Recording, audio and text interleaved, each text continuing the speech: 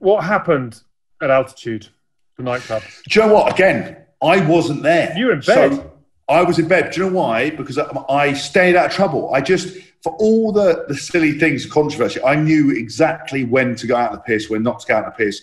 And I was, I never bent the rules like that. I mean, apart from shooting some rabbits, but you know, that was the best intentions of staying well out of the way and not doing anything. And, and the issue with it was, is that we got what happened is, is that, is that they laid on some drinks and the, basically the lads went out and probably a few of them got it wrong or did get it wrong. But the narrative and the story that was printed was was insane. You know, the Irish had been on the piss in that bar for almost 24 hours, so much so that one of the star players, not the name, got carried out, right? And they had to shut the bar, clear it all up, pay the band to stay longer because there's going to be a riot because the Irish wouldn't leave.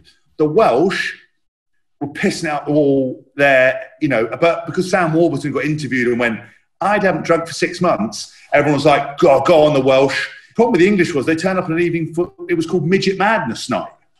And there, there was some, uh, you know, I don't know what politically correct terminology is these days, but there were some vertically challenged members and they were, uh, they were paid to be there. None of the England players picked up and threw them or did anything, but they were, they were quite friendly. They were rugby fans. So they were running around tackling the lads. They were doing like um, there's something in wrestling called a, a lariat, it's like a clothesline.